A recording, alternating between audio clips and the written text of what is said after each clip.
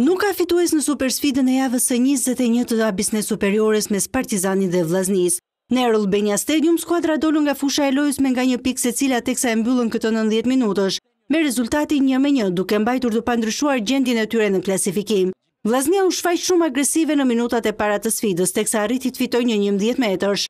Liridon Latifi ekzekutoi, por Alban Hoxha e priti gjuajtjen e tij. Megjithatë, arbitri ndihmuar dhe nga sistemi VAR e përsëriti penalltinë, pasi portieri i Partizanit kishte dalë nga vija e portës. Herën e dytë, Latifi nuk gaboi dhe e dërgoi topin në rrjetë për t'i dhënë avantazhin Vllaznisë.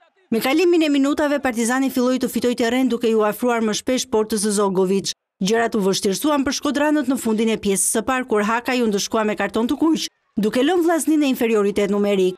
Pas pushimit të ndeshjes, Partizani shtoi sulmet në kërkim të golit të barazimit, të cilin e gjeti me Tedi Carën, gol që u konfirmua nga sistemi VAR.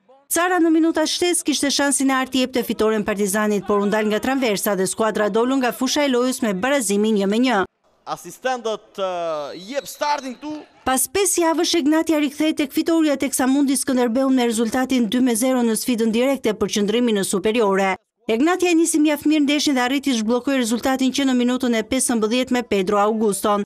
Pjesa e parë u mbyll me avantazhin një me zero të Egnatias, ndërsa pjesa e dytë ishte më e mirë, teksa si Egnatia ashtu dhe Skënderbeu u vunë në kërkim të golit. të cilin arriti ta gjejë sërish skuadra e Egnatias. Ishte pikërisht Jackson ai që çoi në delir tifozët në Arena Egnatia teksa shënoi golin e dytë për skuadrën rrogozhinase, që me këtë fitore dy me zero ngjitet në vendin e shtatë, ndërsa Skënderbeu pësoi humbjen e pestë radhazi duke zbritur në vendin e parafundit. Jackson, super gol i numrit njëmbëdhjetë!